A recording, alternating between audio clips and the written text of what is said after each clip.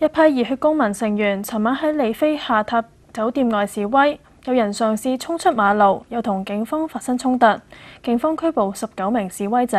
蔡雲傑報導。大約二十名熱血公民嘅成員去到李飛入住嘅灣仔君悅酒店外示威，部分人嘗試衝出封鎖線。警方之後加強布防，有人一度衝出馬路，有示威者被警員壓喺地上。示威者被警方驅趕去到對面嘅香港藝術中心，現場有過百名警員把守，佢哋築成人牆圍住示威者，防止再發生衝突。警方之後採取清場行動，將示威者逐一帶上警車，再帶返警署調查。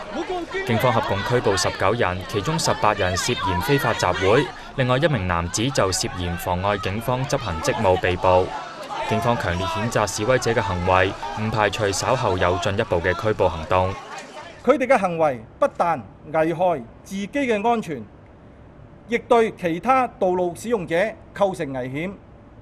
警方經多次勸喻及警告無效，需即時採取有效嘅措施，阻止示威人士繼續衝擊警方嘅防線及保障其他在場人士嘅安全。而一批熱血公民成員其後就去到灣仔警察總部聲援被捕嘅示威者，當中包括立法會議員黃毓民，大批警員在場戒備。NTV 記者蔡宏傑報道。